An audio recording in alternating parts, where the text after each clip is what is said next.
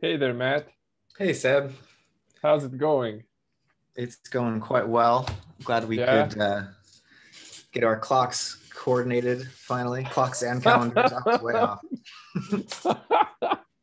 Nicely done. Well played, my friend. Well Thank played. you.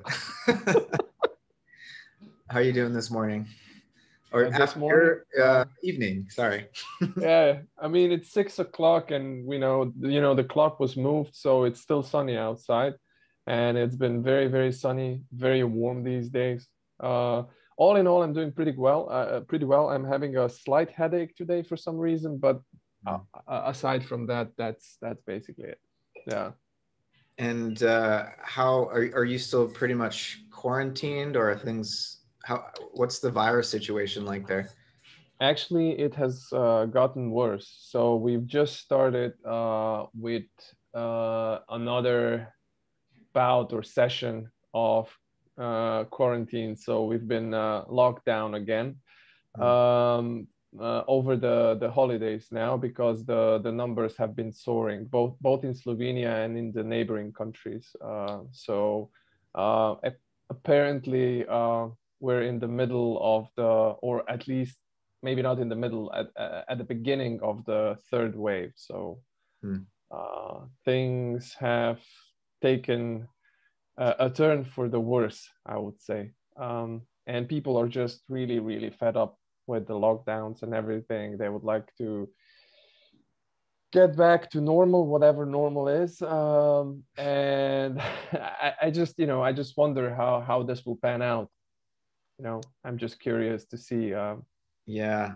No, I, I had been reading about Western Europe and I wasn't sure how things were going in Eastern Europe and Central Europe Yeah. you know, with, with regard to that next wave. Um, the US is doing significantly better, but you know, it may just be a matter of time before the next wave comes because people were already lax enough in a lot of the uh, you know, especially the southern states. And now it's like they don't even pretend to care about wearing masks or distancing. And so even with the vaccine rollout going reasonably well here, um, we, we still only have about a quarter of the population vaccinated, um, which is not enough for you know anything like herd immunity. So I would not be surprised if we have it would be our fourth wave, I guess. But uh, so far, right now, things are okay. Um, I'm actually Yeah. going to go see friends for the first time um, uh, in a week. I got my first vaccination, um, the. Moderna vaccine. So I'm a I'm a science project now. Um, marvelous, marvelous. so I should be 80% immune at this point, and then I get the other 15% after I get my second dose. So Mm, at least with the known variants uh who knows what future variants might emerge i really hope Yeah. we don't we don't need booster shots every year uh, you know i'm not a Yeah. vaccine skeptic necessarily but i But also still, right? i don't want to be having to you know in, inject new rna into my system every year that just seems Yeah, kind of- I I agree with that. Uh, I'll probably be vaccinated in uh, a month or two, something like that. Not sure yet which of the vaccines I'll be getting. I I would like to avoid the AstraZeneca one if at all possible, uh, but I'll see. Um, but all in all, yeah, the the the numbers have been rising quite steeply in the neighboring country countries as well. So uh, Czech Republic has been hit really bad, and um, Hung- Hungary also.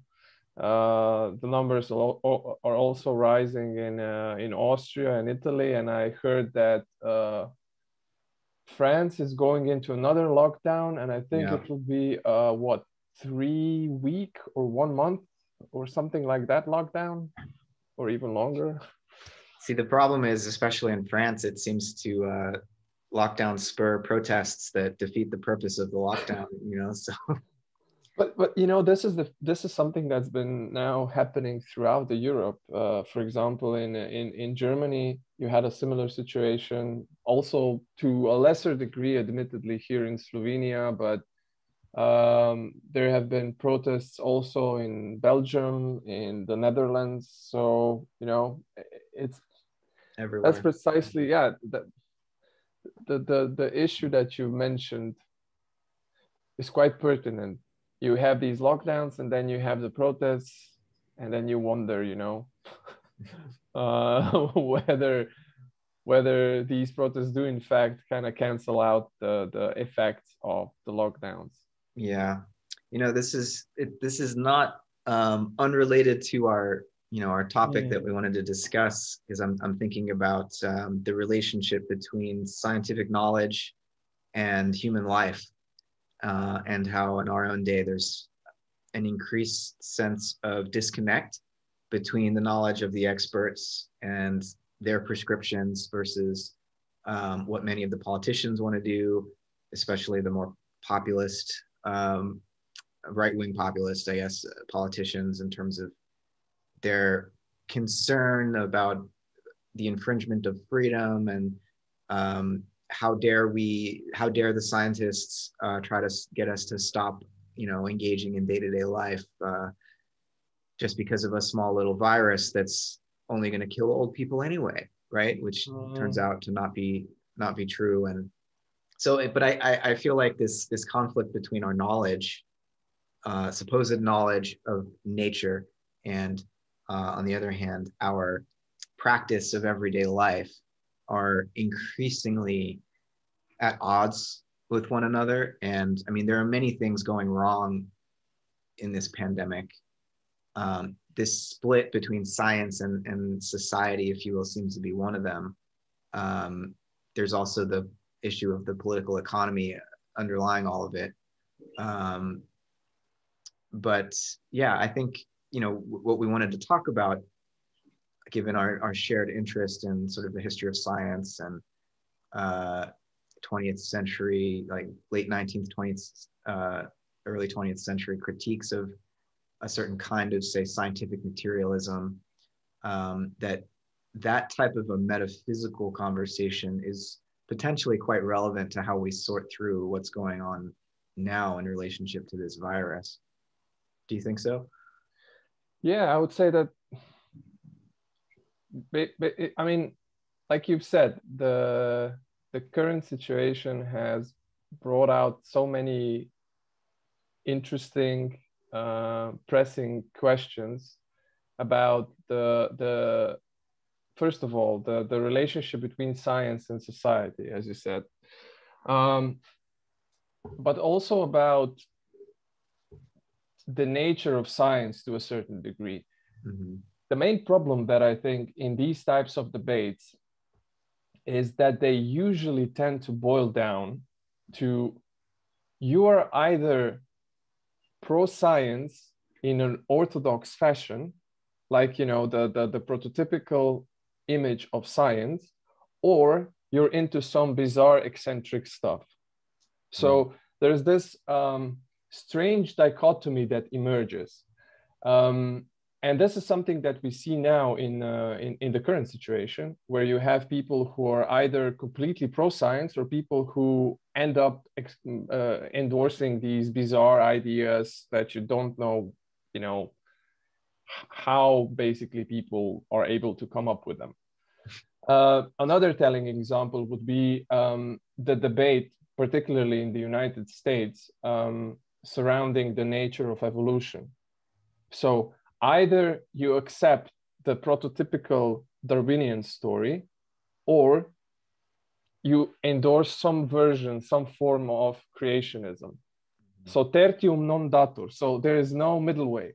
There is no possibility of, you know, uh, reflecting on the nature of evolution, maybe endorsing evolution, but but debating the mechanisms of evolutions, the dynamics of evolution, what it means, and so on and so forth it so easily and quickly boils down to these two extremes. And these two extremes are bad for many reasons because, um, on the one hand, um, this radically anti science stance is, I would say, dangerous in so many different ways. Um, but it's also um, problematic because scientists themselves have the impression that or they can so it depends on the nature of the scientist but uh, they either have the impression that everybody who's critiquing science is into some weird stuff, or they have a very good justification as to why they don't really have to engage in any type of, uh, let's say, philosophical debate about the foundations of science, because eventually it boils down to, to some strange, fluffy, spooky stuff. So, as you've correctly stated, um, there are many very, very interesting debates about nature of science, dynamics of science, and there are many very interesting thinkers. And one of the reasons why you and I actually started these uh, discussions was uh, a shared interest in some of these uh, authors from the, like you said, from the from the end of the 19th and the uh, first part of the 20th century, who were for the most part very interested in science and pro-science in the broad sense of the term but it also they also uh, realized that uh, there are certain philosophical underpinnings in the classical conception of science that might be problematic from both for both um, uh, philosophical reasons and also in the sense that they might actually thwart the development and progress of science and its ability to explain the nature of reality, ourselves, and so on and so forth. Yeah, well said. Um, it's almost like I like to distinguish between capital S science, which has a certain authority um, for the educated public, um, and then lowercase s sciences, which are the plurality of different disciplines, each with um, really their own version of what gets called the scientific method. They have their own techniques, they have their own um, sort of criteria for what counts as evidence for what types of experiments can be done. They all have their own instruments. Uh, often it's not clear how these different scientific disciplines link up together to give us a complete picture of nature, you know, as it exists concretely um, mm-hmm. as a whole. And so whenever we talk about, you know, in, in the context of everyday human uh, society and politics and, and policy making and decision making, there's a tendency of like educated liberals, let's say, to just with the bumper sticker slogan kind of say trust the scientist or trust science or when trump was president we had this huge protest um, in, in the US about uh, being pro science, whether that's about climate change or uh, whatever the, the issue might be. And the idea seemed to be that if only we could put a bunch of scientists in charge, all of our political problems would be solved. Right. And so mm-hmm. this to me is is the is a it's the view of science as capital S science as kind of a world view, which in a way is a replacement for uh, the religious sort of cosmologies um, that prior to the modern period human beings would live within, where everything from art to morality to politics to our knowledge of nature and the universe kind of all fell under the umbrella of religion, right? In the sense that we know the order of the universe because we have some relationship to the divine source of that order and there are there's a certain institution whether you know in the church in Europe that mediates uh, the the wisdom of this divine to the people, and so everything was sort of in this compact cosmology, as uh, I think uh, Eric Voegelin referred to it, compact cosmology, so that mm. the true, the good, and the beautiful, and the institutions associated with each have not been differentiated yet. Now we live in this modern period where everything's differentiated, even dissociated. Um, Ken Wilber likes to make that distinction. And science and the pursuit of the true has become totally disconnected uh, from, you know, morality and and uh, the practice of virtue um, and art has so totally severed itself from any sort of moral vision or religious vision or or vision of truth right everything is just everyone's off doing their own thing and so everything's fragmented and you know the one of the consequences of that lack of coherence is um, it, it, ramifies into our political and, and social lives because we don't know where to turn for authority. Um, because the problem with saying trust the scientists is that the scientists don't agree with each other. You know, as a as an interested um, someone interested in the history of science and and in contemporary science, when I want to learn about say quantum theory, I go in and I read the quantum physicists, and I don't know, there's like 15 or 20 different interpretations of quantum theory uh, out there, and maybe a few of them are more dominant, but in general, there's not much consensus about the truth, even within science, right? And so that's one problem. Um, but I think more broadly, the issue is, and, and this is where I think you and I could have an interesting conversation. We don't have any sort of integrative cosmological vision within which we could begin to make sense of just all of the special sciences, much less uh, art and religion and politics, you know, and these other facets of human existence. In the traditional sense, cosmology should integrate all of that. And um, we're lacking that sort of integrative vision, though there, there are some, um, there are figures who have offered us hints in that direction, I think, and, and you know, whether that's um, coming out of German idealism or uh, figures like Alfred North Whitehead or um, you know someone like Merleau-Ponty in his late work was starting to gesture towards this a new philosophy of nature that would integrate all these spheres. And so, um, yeah, I thought you and I could probably dig into this the history here and look at some of the um, maybe the the live options for like getting back into cosmology in a way that's going to be different from the ancient and medieval world, of course, uh, but nonetheless would still be striving for some, you know, non-reductive, integrative vision that holds together what the sciences say, the natural sciences, with, you know, what I would call the hardcore common sense presuppositions of civilized human existence, things like, you know, free will and that consciousness is uh, that consciousness connects us with reality in some way and isn't just an illusion. Like once we start doubting that, I think we're kind of pulling the rug out from under ourselves. But yeah. Yeah, uh, these are these are very very interesting uh, and very good points. Um, so one thing that I would like to maybe touch upon here is um, um, there's this strong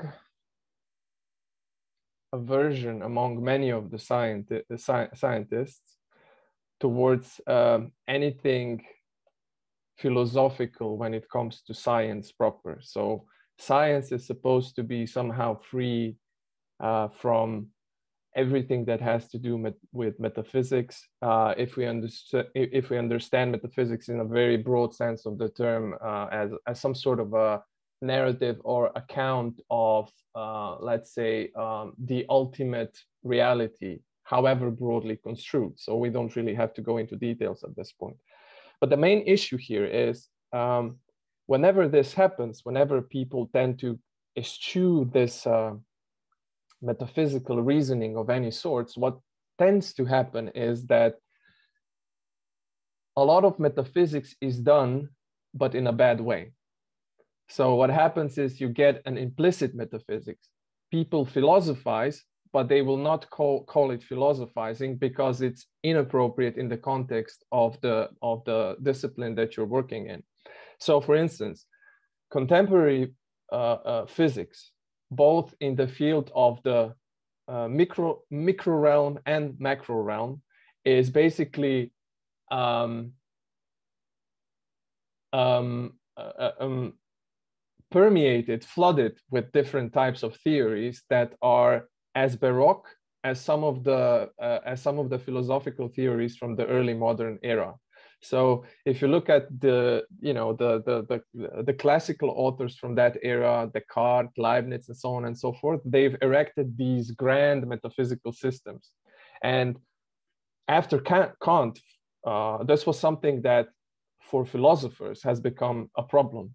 You know you cannot simply develop these uh, models of reality which can be completely at odds with one another because after a while you know you, you just start you, you can uh, start asking questions as to you know why is this one better than the other one? So basically you lose any type of criteria and it would seem that you can just proliferate these types of models in into infinity. And the thing is if you don't really if you're not really willing to um, acknowledge the fact that people are driven to philosophy that people philosophize whenever they touch upon uh, certain fundamental questions, you will simply end up with uh, what is usually lousy metaphysics. And for example, when you have theories that talk about multiverses and uh, string theories and you know uh, talk of imaginary times and so on and so forth these are concepts that are not only not verifiable often um, they are often not even in principle uh, um, um, um, open to, to any type of, let's say, empirical verification. So you get to a point where you basically create these edifices, and I'm using plural here because there's many of them. Uh, and it is legitimate to do this as long as you're doing it in the context of physics, because then it's proper science. Why? Well, you have these mathematical models for it. You know, so one thing that should be pointed out here that um, contemporary physics is extremely and profoundly philosophical. The more it rejects philosophy, the more it claims it isn't, the more it is philosophical in a certain sense. And this shouldn't really surprise us because natural sciences, as we know them today, were originally, so in the 16th and 17th century, one of the possible philosophical projects that were out there, a project that eventually turned out to be extremely, extremely efficient, that uh, has proven to be extremely beneficial and useful for many disciplines and for tackling many phenomena and many different uh, issues. But at the core of it, it was a philosophical project. Um, and the thing is, what was instituted in the 16th and 17th century was not necessarily so much a theory in the sense of having a, a framework, theoretical frameworks that you can, a framework where you could simply uh, uh, boil it down to uh, a determinate postulates. You know, you can explicate all the propositions of this particular theory. It was not that. It was more something like a specific thought style was created, to use Ludwik Fleck's term. Uh, I think that Whitehead uses uh, um, the, the, the, term tone, a specific tone of thought, a specific tone of thinking. So uh, a specific way of thinking, looking at things, and being in the world was erected. You know, it was a specific way of handling and dealing with phenomena, regardless of the nature of these particular phenomena.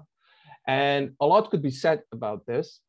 One prominent characteristic here was the idea that if you engage in the deconstruction of phenomena, you will eventually end up with uh, discrete constituents of these phenomena that you can comprehend clearly and that this is somehow uh, the only proper way to acquire knowledge in the strict sense of the term. So, for example, that was one of the integral elements of this particular thought style that was erected there. It was present before, of course, but when this particular thought style was then combined with, say, developments in the fields of mathematics and then uh, um, uh, used to account for specific physical phenomena uh, um, uh, through Kepler and uh, Galileo and Newton and so on and so forth, a specific way of approaching problems was created. And this um, was not only a manner, as I said, of thinking, but also a manner of seeing and also a manner of being in a certain sense. So what are your, your thoughts on that? Um, I think you've described this this new tone of thought quite well, and um, you know, it, I'm I'm reminded of what Whitehead says in um, Science and the Modern World, which I know you just uh, started uh, reading or rereading, and he he says, I think he I think he says in the year 1500, Europe knew less than Archimedes, uh, you know, almost 2,000 years earlier, about how nature works. By the year 1700, you know, Newton's published his Principia, the scientific, you know, Copernicus, Galileo, uh, Descartes, all of this new scientific work has been done and um, a new approach to understanding the natural world has been brought forth. It's not that like Archimedes wasn't already taking a mechanistic view, it's that um, his view was more instrumental. Like, what can I do with this knowledge? Knowledge as know how, right? And it was more of an engineering mentality. And Archimedes wasn't claiming to know the nature of nature.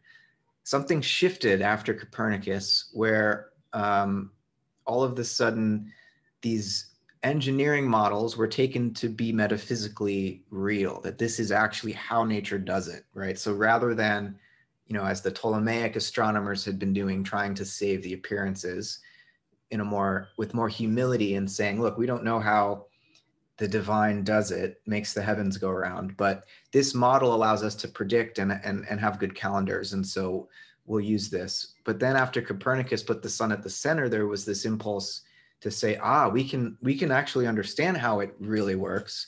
We can we can perceive nature uh, from God's perspective, as it were, right? And mathematics was was thought to be the language of the divine, and this it was a new metaphysics really um, not just a not just a, an instrumental method for engineering things but uh, it was thought uh, as a thought to be a, a way of uh, understanding the truth of nature.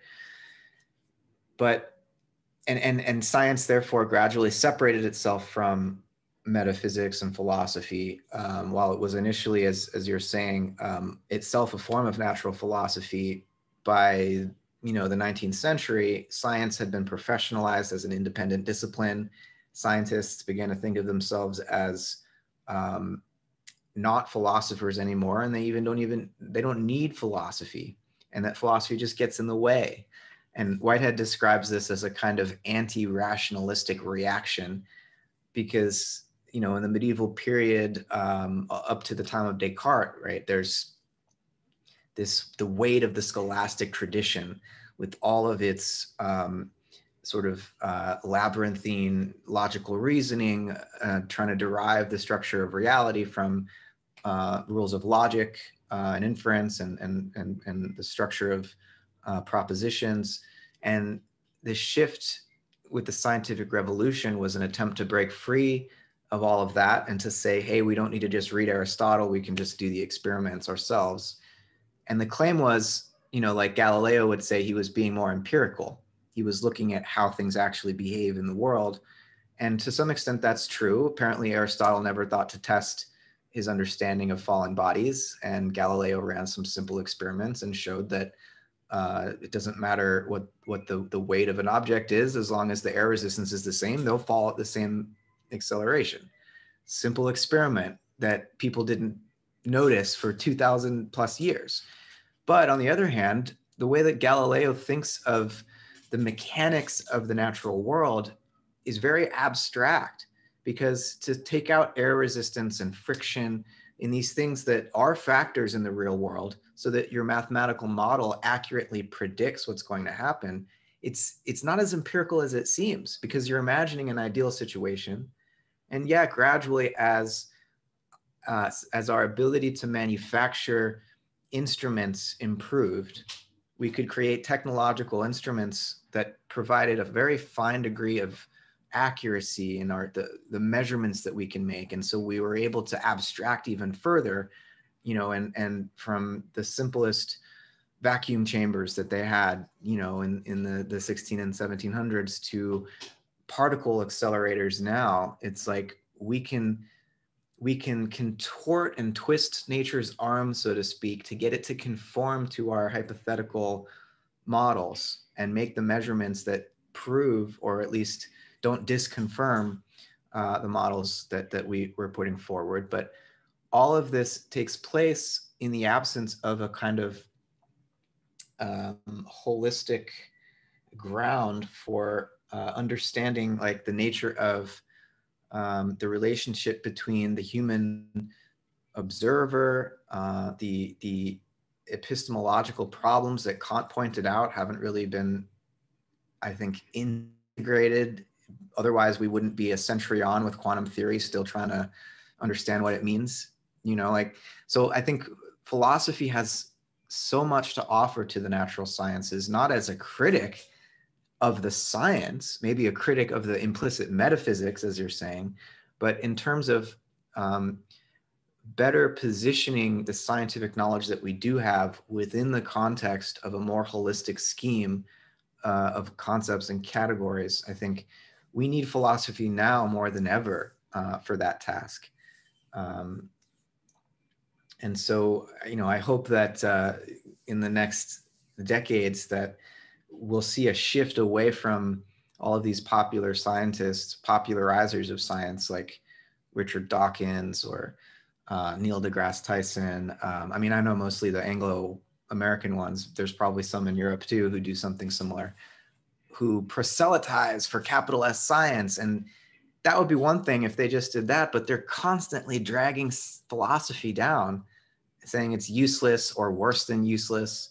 And um, you know, you hit on something important, which is that we have an instinct to philosophize as human beings, to ask metaphysical questions, and that's rooted in wonder. And there's a hubris that comes along with a certain conception of the authority of science, which says that science ultimately could explain away wonder.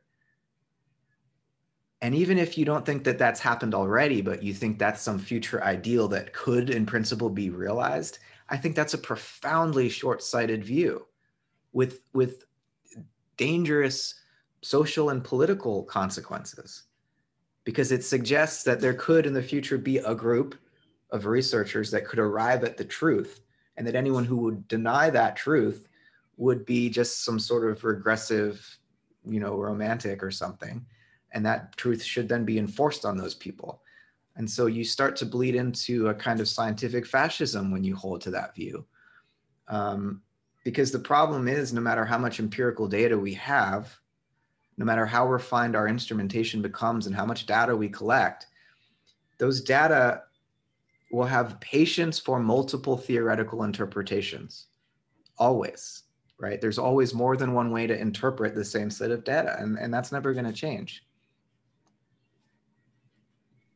Yeah, mm, that's a that's a very good point. Uh, so not only do you have um, an incredible amount of data available that can be interpreted in different ways, but what counts as data depends on the presuppositions that you already bring into the game. And these pre presuppositions are often even not necessarily very clearly articulated.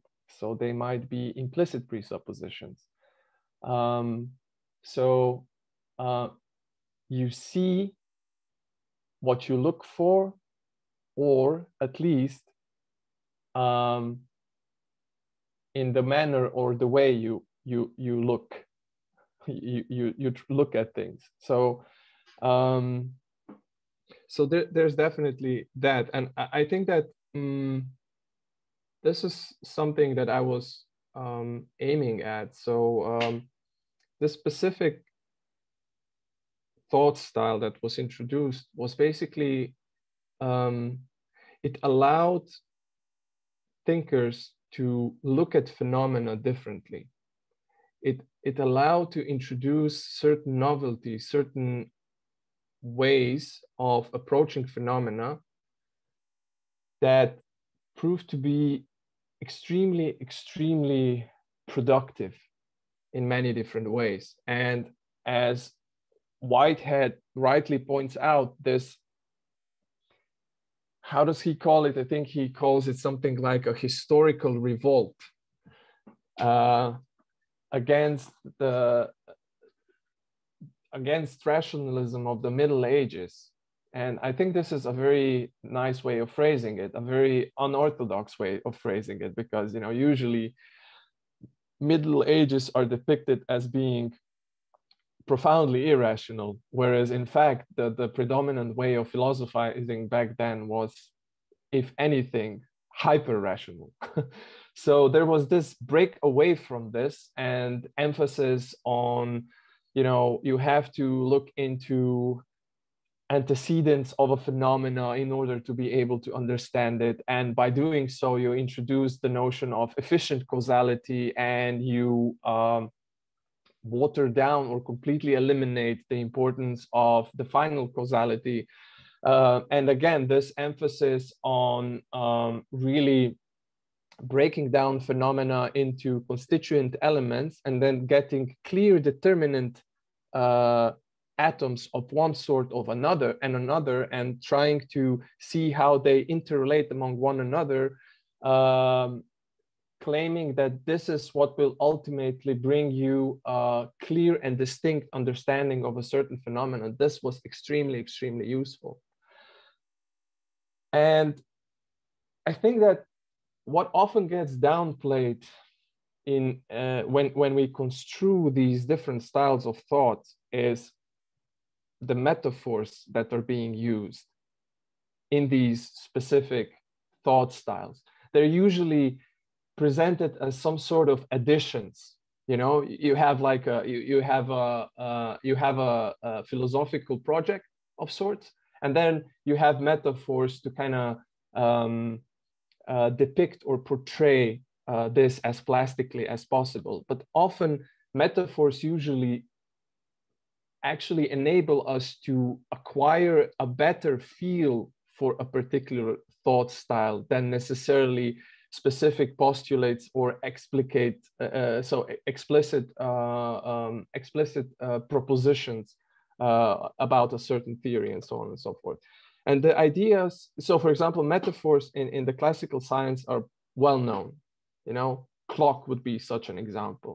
You know you have these complex mechanisms that are basically constructed of tinier elements and these tinier elements are interrelated in a very specific ways and you can describe these in interesting uh, mechanistic ways causally uh, uh so cause effect relations um, and you can formalize this you can uh, mathematize this uh, and this is how you basically acquire a clear and distinct, distinct knowledge of the structure of reality. And even people nowadays who might say, well, you know, these early mechanicists, they, they were basically wrong. They, they, they fail, fail to um, fail to see that very often they're still very much in the grips of this particular thought style. They would still subscribe if you kind of really um, um, push them against the wall, they would subscribe to some some version of a clock type of, uh, of universe. Even though, and we can get to this a bit later on, even though uh, science itself, by introducing certain notions, notions such as field, for instance, have already moved, has already moved away from this image.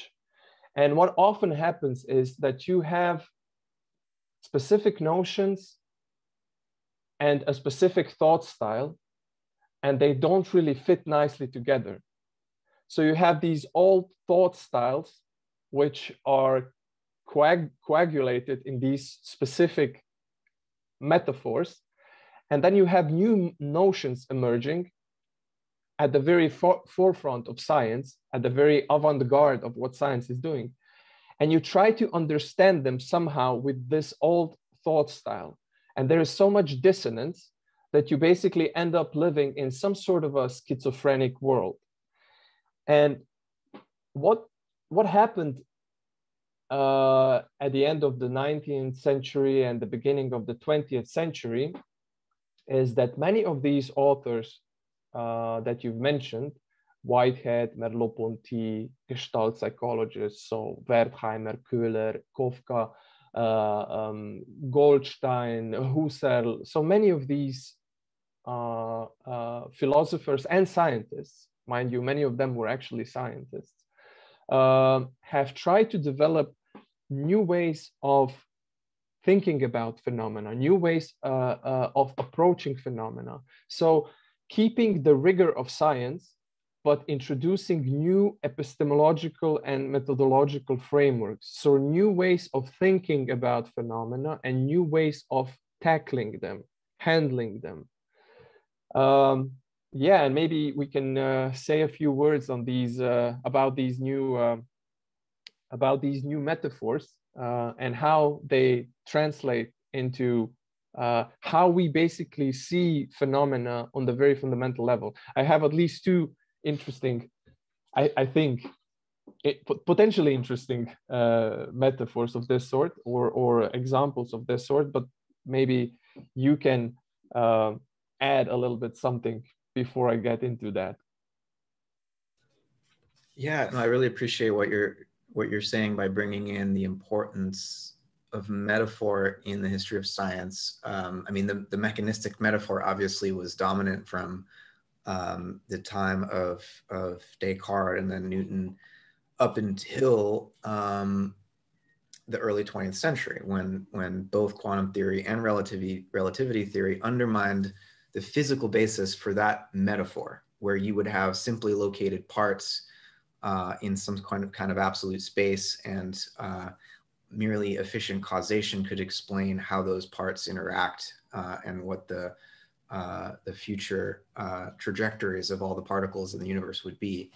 That understanding of the universe as some complicated machine made of um, simply located parts that are fully present at an instant, that's no longer the physical conception of science. Unfortunately, in biology, a lot of times in psychology and sociology, um, some forms of sociology at least, there's there's this mechanistic residue where there's still this assumption that ultimately all this must reduce down to these interactions of particles in a mechanistic way. Physicists still will talk in terms of particles, but they mean vibrations in the field. Um, and so there's a there's a there's a uh, delay, I think, in the um, the sort of um, propagation of this shift into the other sciences, which traditionally were thought to be um, stacked on top of physics and ultimately reducible to it.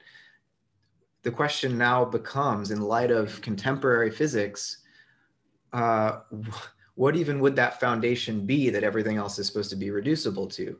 Whitehead said, I think in Science and the Modern World as well, he says, what's the point of talking about mechanics when you don't know what you mean by mechanics? Uh, because there's no sound basis for a mechanistic explanation in physics anymore.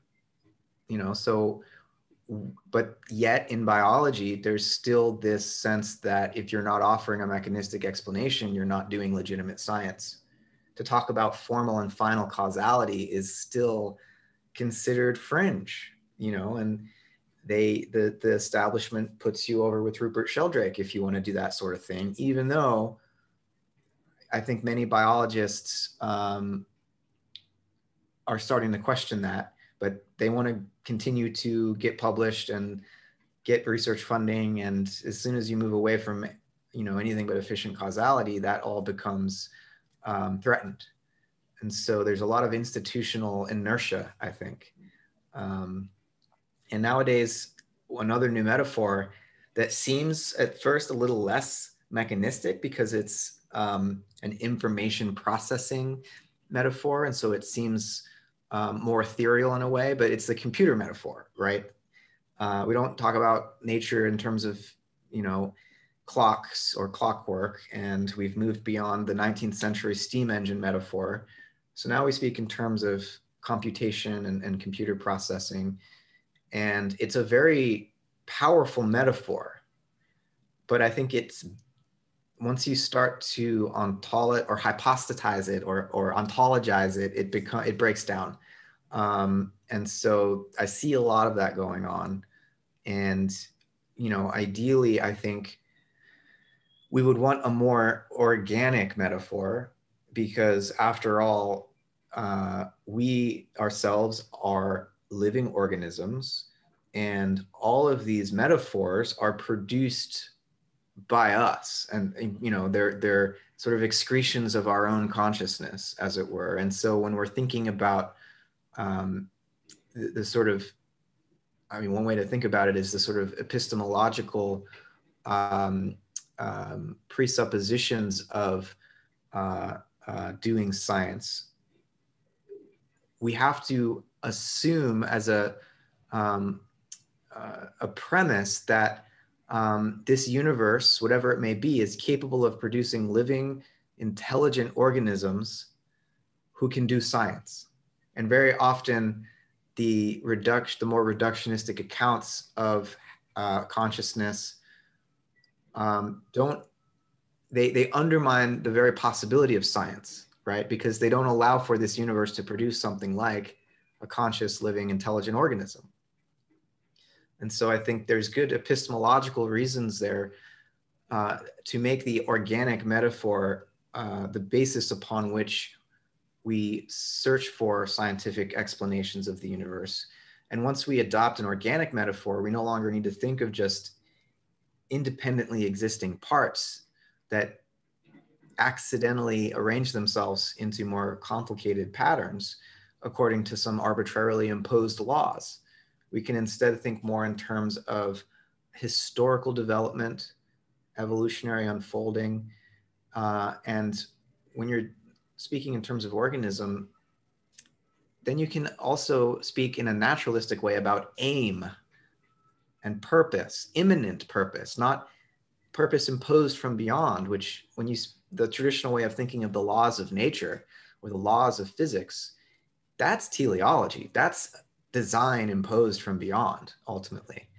And so, in a more organic conception, we could see these laws as emerging as habits out of the interplay uh, of, of the organic beings that are composing the universe. So, yeah, I, I think we would probably converge on this this idea of the or, or of organism as as the more um, suitable metaphor. But I'm I'm curious to hear what uh, mm. what you were where you were going to go a second ago.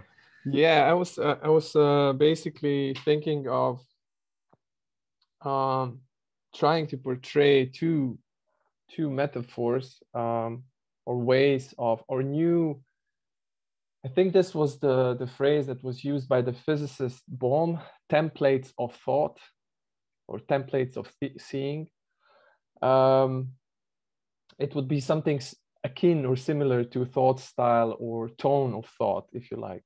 So um, if I'm too long, just you know, kind of stop me and if you feel free to uh, intervene at any point. So the first the first uh, template, um, the first um, metaphor, if you like, is um,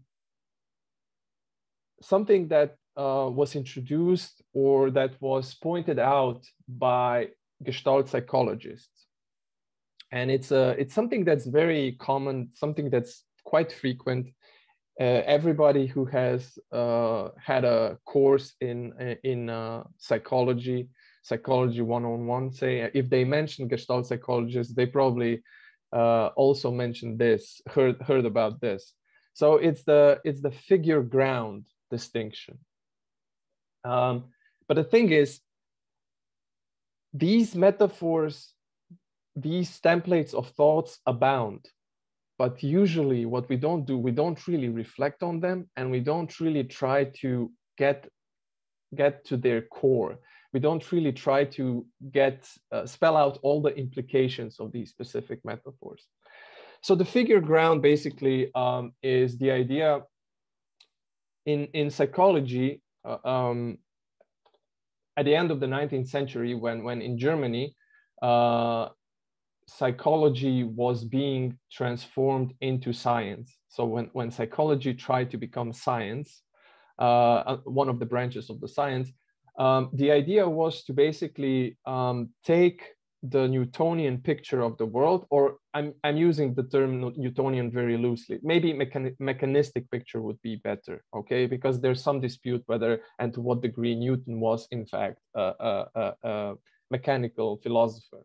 And there are probably good reasons to say that uh, he wasn't, or if he was, that you need to qualify this. But we don't really have to go into this. So to basically kind of introduce the conception, the mechanical picture, you know, discrete elements that are causally interrelated or somehow passively interrelated into uh, our mental realm, so into the realm of consciousness and experience.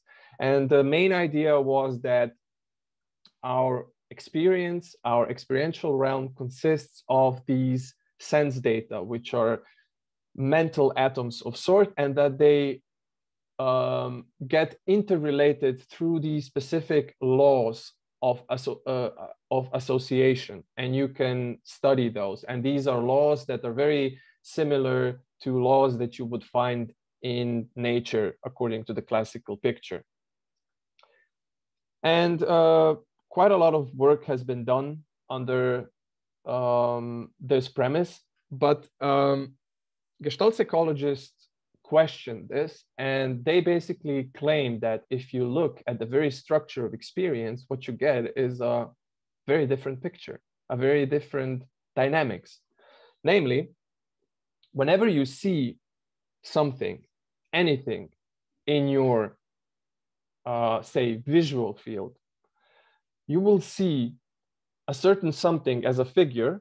So what I focus on, what I see clearly and determinately is a figure. So in this case, this, this would be a, this particular cup or mug, yeah? But at the same time, other segments of my visual field uh, withdraw into the background. And they are there, it's not nothingness there, it's not just one atom and nothingness, but it's, it's a certain something that has a specific structure, a specific dynamics, but it's indeterminate. It has a different structure. Now you might say, of course, this is trivial. What the heck are you on about? Why, why are you making, you know, uh, big deal out of this? Well, because the point here is whenever you get a certain something, you need to have a specific context for this something to be this something. So you need a certain indeterminate context for you to have a certain determinate something. Of course, you can disregard this context if you want, but you're not really being paying attention to the structure of your experience because your experience as a field is structured in such a way that whenever you have a certain determinant figure a certain de- determinate form, you also have a specific indeterminate background. And these dynamics, so you basically have a, an interesting dynamic where you need the figure, uh, you, when you, where you need the background in order for you to have a figure, and you need a figure for you to be able to talk about the, uh, the, the, the background. So basically what you have here is you know this uh, um, important uh, emphasis on the contextuality of anything that is given so what appears appears in a given context appears against a given horizon a given background but there's another point to this and this i find extremely interesting and this is something that merleau-ponty uh, emphasized so I'm looking at a certain something at this mug and I see a certain uh, figure against a certain background. Yeah, but there's another background that's implicitly present, but I but I even more often overlook, and that's the background of my bodily attitude towards this. So for me, so what I see as a figure and what I see as a ground depends on how I situate myself in relation to this figure and this ground. So my bodily poise, the way I situate myself, the way I structure myself as a living being, as a living body, correlates to what is given in my experience as a figure and a ground. So basically, there is an interesting equivalence between my bodily position and what is given as an experience. So this is one figure, okay? And now moving to the second figure, and then I'll try to, or, or, or one metaphor, uh, and then I'll, uh, moving on to the second metaphor, and then I'll try to just kind of uh, spell out some implications of this. And then I would be really, really interested in hearing what you have to say about all of this. Now, another metaphor, and this was the metaphor that was commonly used by people who were critiquing uh, the um, um, mechanistic thought style was the metaphor or mel of melody or music.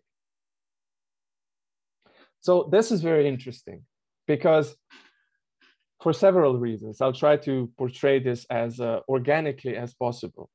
So if you sound two notes individually, and if you sound them together, what you get if you sound them together is not merely the sum of what you get if you sound them individually. As soon as they sound, if you sound them together, they constitute a whole, and in this whole, they become aspects with specific quality, value, and dynamics that differs from the, the qualities and dynamics and values they would have in different wholes. So the same note in different wholes has a different quality, different structure, and a different dynamic. So that's one thing. As soon as you have something that is that you might call as a very simple melody, you get a whole which determines the nature and the relationship relationships and qualities of its constituents. So it's not like you just have these um, um, uh, discrete elements that you put together and they somehow form a, a, a, summation of sorts, so a summative whole. What you get is a dynamic whole that basically uh, has a very different unity and in this regard uh, determines different qualities of its aspects uh, than these, uh, uh, these uh, segments would have in isolation. But there's another twist to this story. Say you sound two notes one after another.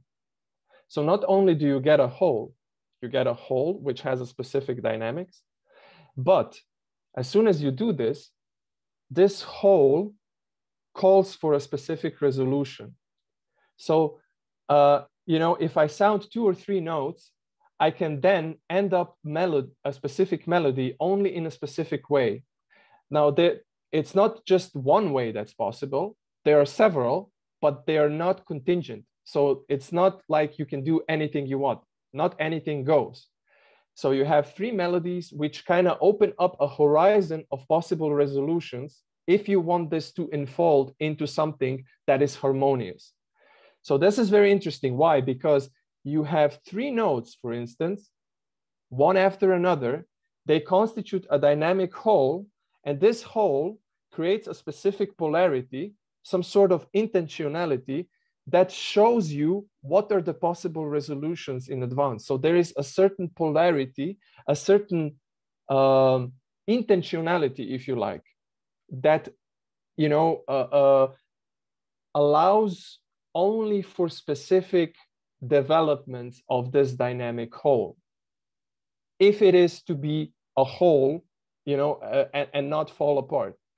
So um, what you get in a certain sense, and you know, one might say whether this is uh, just metaphorically speaking or not, you get some sort of a, insight, interiority, because there is a polarity from within which determines possible resolutions and how this will unfold. So if we take these two, two metaphors, okay, the first one is figure ground and then uh, me as an observer as another ground, and the, the example of music. What kind of a thought style does this depict? what kind of a, a thought style does this translate into? Well, one thing which differs from the classical point of view is the importance of the observer, figure ground.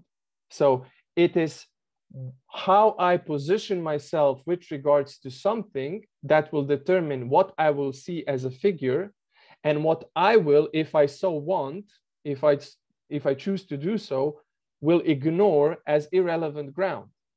However, this ground is there. I can pretend that it isn't because it, it is easier for, for my manipulation of the phenomena and doing specific calculations. But what is important, uh, important, uh, important is that what is given as seemingly individual, isolated, discrete, uh, self-subsisting something is basically correlated with my interference with the world of phenomena. That's one thing. Another thing is, if we look at um, both this example and even more so the example of the melody, you don't really have to do with discrete individual atoms or constituent elements. What you have to do is what what, uh, what you're faced with is dynamic wholes. So this dynamism, dynamism, the, the, that the, the reality is not static and movement is not merely a correlation between static constituents of reality, but that, that you have to be able to think about reality as something that is intrinsically dynamic. So not something where movement and processuality simply added atop of the static reality, but being able to think dynamic phenomena. Then third thing, and this one I think is very interesting. Usually in the context of science, if something is indeterminate, it is either nothing or it is a thing. So what you have to do is you have to meddle with this indeterminate phenomenon and you have to figure out whether it actually is something or it's maybe just a mirage. It's some sort of a mistake. But in this particular image that I've presented, the, the figure ground, indeterminate is constitutive of determinate. If you want to have a certain determinate something, you need an indeterminate background. And again, for practical reasons, you can choose to ignore it. But as a matter of fact, it is there and it is indeterminate. It cannot be determinate. As soon as you make it determinate, something else has to become indeterminate. So you have the figure ground dynamics and indeterminate. What is important is it has to be recognized as a positive phenomenon. What do I mean by that? You have to be able to include it into your epistemology without reducing it either to nothing or to something. So indeterminate as as the domain of possibility, of domain of virtuality, is something that is actually crucial if you really have to have, if you want to have determinate knowledge of something. And two final things, and then I'll finish. The emphasis on the systemic or organizational aspect. So, you know, both as uh, both uh, uh, metaphors, uh, both templates speak about the importance of systems, of unities, of wholes. And again, these systems, these organizations are not merely add-ons. It's not like you have these constituents and now you merely have to figure out how they fit together and how they interrelate and you get wholes. No, no, no. Once you get a specific uh, uh um, specific amount of say, um, uh, segments of any sort, they will constitute a certain configuration which will start behaving as a system, which will start behaving as a whole. And once this happens, this system will, in a certain sense, delimit its potential uh, um, behavioral spaces. So how it will behave and in which ways it can and will be able to move. And this is something that the system as a whole will determine uh, in, in, a dynamic fashion. So this, this emphasis on organizations and uh, organization and systems in general. And then finally, what you said, some sort of an internal purposiveness. As I've said, once you have three notes, once you have a, a very rudimentary melody, what you get is attention, a propulsion, propulsion you have a specific um, polarity that enables specific ways of behaving and specific ways of resolving the tension that has been created. And only these specific ways are allowed or permissible if this dynamic whole is to retain its unity. So you have two metaphors which are extremely, which are pregnant with interesting implications and they don't necessarily have to spell into something that would uh, eschew science as such. Quite the contrary. You can you can provide interesting synthesis between these types of metaphors and their implications with the rigor of science. That's beautiful. Um, you know, I, I, kept thinking of uh, uh, Bergson when, when you were speaking and the distinction he makes between scientific intellect on the one hand and philosophical intuition on the other hand, where intellect tends to spatialize the universe. And, and spatializes time, uh, importantly, um, which leads to this conception of um, if it talks about wholes at all, it's always a, um, a spatial whole where the parts merely add up to and sum to some larger whole. And what you're talking about is a kind of musical ontology, which is incidentally what um, one of Whitehead's students, uh, Susanne Langer, uh, who studied with Whitehead at Radcliffe, he would go lecture to the women at Radcliffe when he was done at Harvard. And she described Whitehead's ontology as musical in this sense, in exactly the way that you're saying that he's describing, and Bergson in his own way, not spatial wholeness, but temporal wholeness, a dynamic uh, wholeness that's not merely additive, where parts sum to a whole, that's not anything more than just the sum of its parts. It's a cumulative wholeness or a dynamic wholeness, which, as you were saying, each note as you approach the resolution of a melody, it, it leaves, when you're only halfway through the melody, there's a potential that's generated that calls or lures you towards its resolution. And so there's an aim implicit in this notion of a dynamic or, or temporal wholeness. And that's right at the core of um, the process relational ontology that, that Whitehead was working through um, in his, you know, in, in his philosophy and that, and that Bergson in his own way was working through. And so it allows us to bring aim back into nature because we're understanding nature not in an abstract intellectual way as a spatialized collection of objects, but we, we, we, we are able to perceive it from within, as it were, on the basis of our own um, stream of consciousness or, or duration, as, as Bergson would say. And, and we can understand from the inside out how causality itself unfolds in nature. And, and we can understand something like formal and final causality in this aesthetic way, just as we understand how music unfolds. Um, and then what you know what you're saying about the Gestalt um, psychologists and their analysis of perception. Um, I haven't studied them very very deeply, but there are profound resonances with with Whitehead. Um, you know, he'll say things like that every every finite proposition presupposes a systematic metaphysical background, and so we might think we're saying something um, definite, and yet in a halo around that is this background that is infinite that uh, is somehow our finite proposition is implying all of that. We might not even be conscious of it, but it's implied. Um, he says in one of his essays, um, he says, in our experience, there is always the dim background from which we derive and to which we return. We are not enjoying a limited doll's house of clear and distinct things, secluded from all ambiguity. In the darkness beyond, there ever looms the vague mass, which is the universe begetting us. So I, you know, I thought immediately of that as you were describing um, the ground that every figure presupposes, right?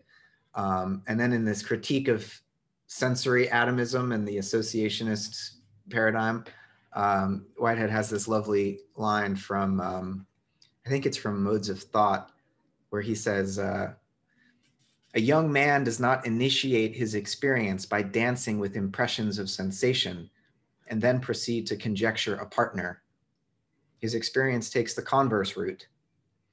Uh, the true physical doctrine is that physical feelings are in their origin vectors. And this is, that would, to unpack that would get a lot too much into Whitehead's scheme. And uh, unfortunately, I need to run to my next call in a minute here. But um, what you're saying about the primacy of the body, as in, you know, Merleau-Ponty's embodied phenomenology, Whitehead says the same thing that, you know, our the primary datum of our perception is the feeling of the body as functioning.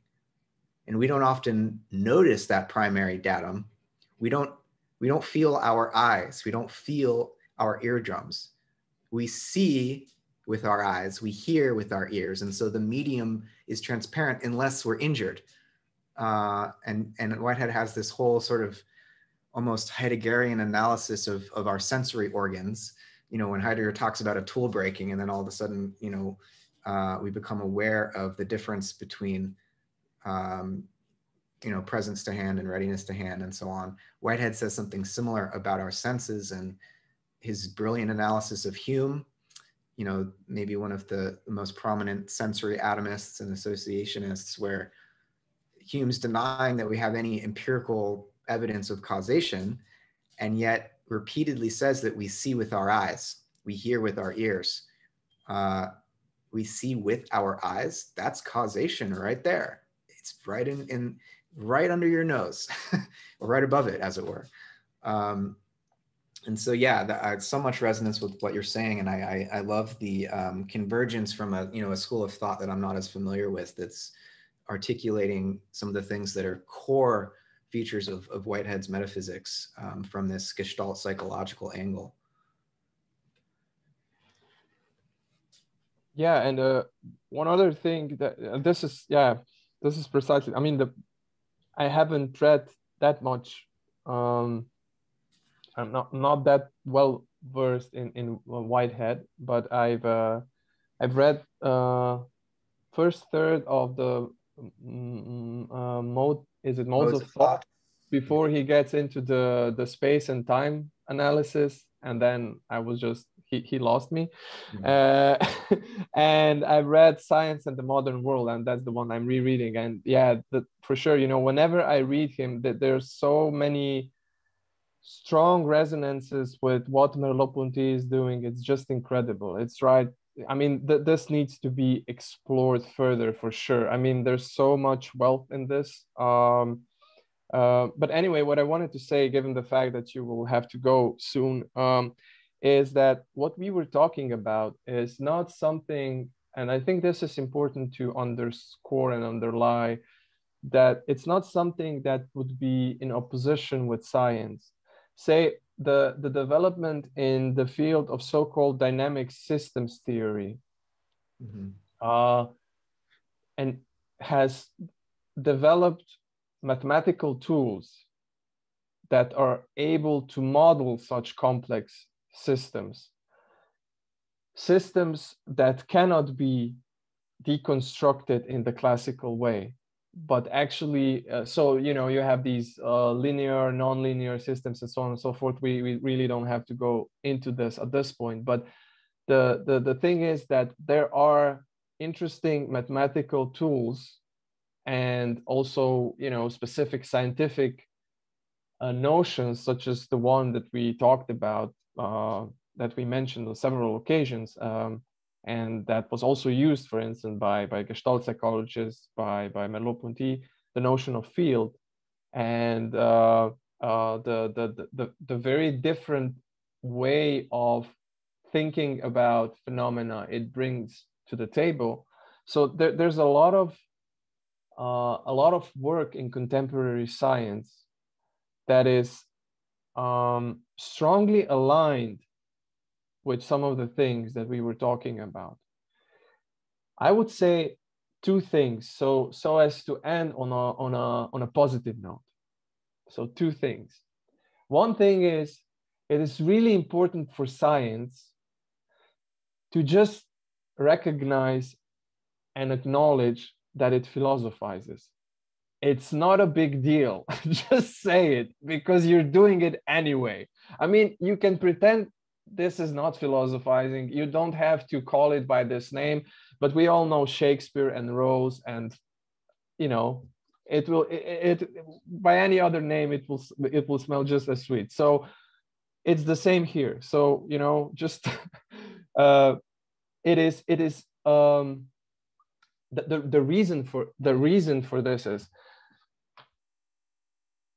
there is basically, you know, at the very bottom of everything is basically the realm of human existence and experience.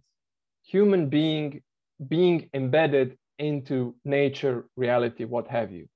Eventually, through these different ways of coping with reality, different disciplines have developed and emerged.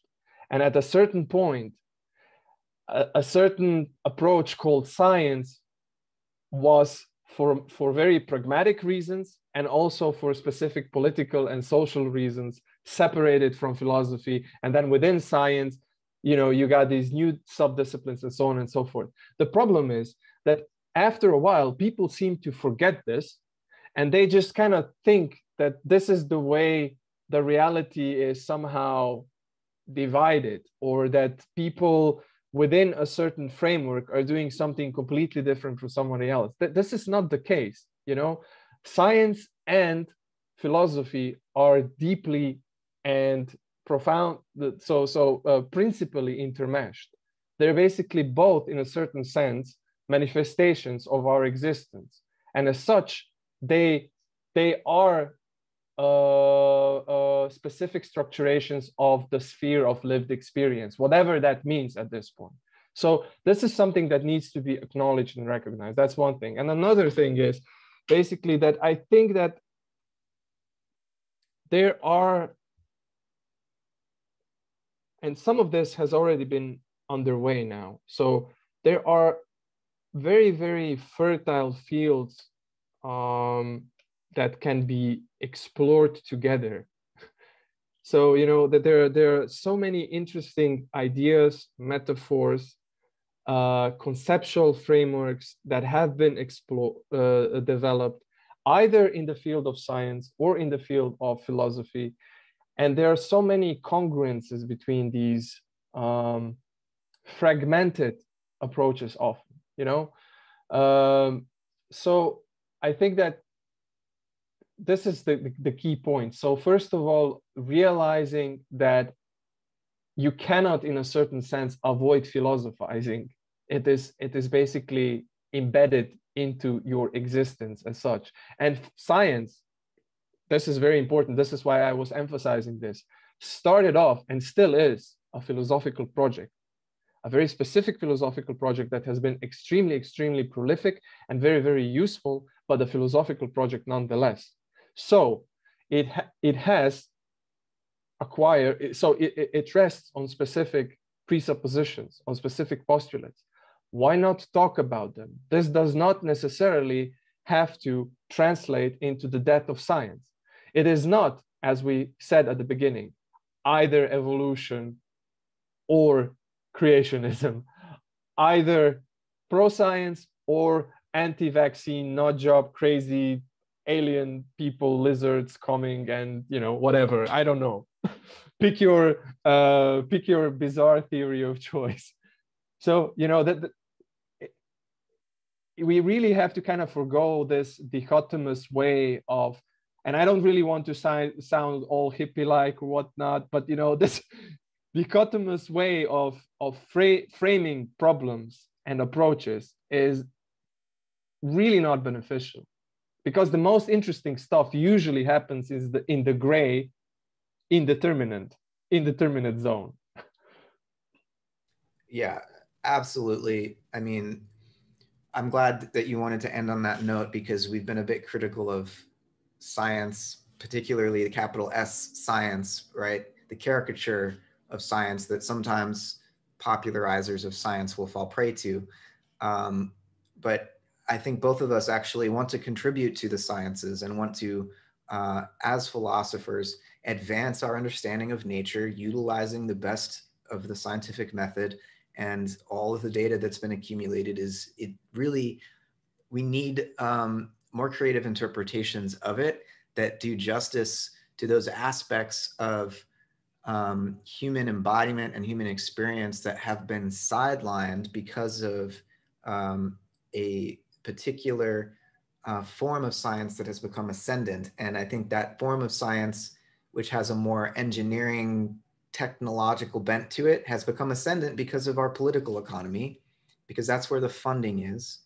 And the way that modern universities have um, created these disciplinary silos because of uh, as a consequence of professionalization, like all these things get backgrounded when we just talk about capital S science and its capital K knowledge of capital N nature. And it's like, we need to see science as a process, as something that's ongoing and open ended, and that there's, I have no doubt that many of the things that we take for granted as scientifically true now will go the way of phlogiston and the ether and all these other things because that's the nature of how knowledge unfolds in an evolutionary universe. Uh, and so we have to, I think, forego the original sense of certainty that came along with the Cartesian form of scientific inquiry and, and accept that um, the universe is an ongoing process. Our knowledge is part of that process. And we can think of our activity as converging upon truth, but we need to make sure that that asymptote is infinite because if we ever think we've arrived at truth, um, I think dangerous political and social consequences would follow from that. And we're very close to that sort of a situation now because of these extremes you're talking about. You know, the people who are like, ah, trust the authority of science, and the people who are saying, I don't trust any authority because, you know, we've been lied to so many times, blah, blah, blah. We're, we're tearing apart at the seams and moving to these extremes, and neither one of them has a happy ending. So we need to stay in that gray area. I, I really appreciate the way you were framing that. Yeah, and I think that this is very pertinent in contemporary times with the with the new culture war that is currently taking place. So uh, it, it it is definitely something that is not related strictly and only to science as such, but has way way greater implications However, science, as you mentioned at the very beginning of our talk, uh, of our discussion, uh, is a, a, key player in this story because of the pandemic setting or pandemic background. Anyway. that was great, Seb. Thank you for, uh, for the conversation.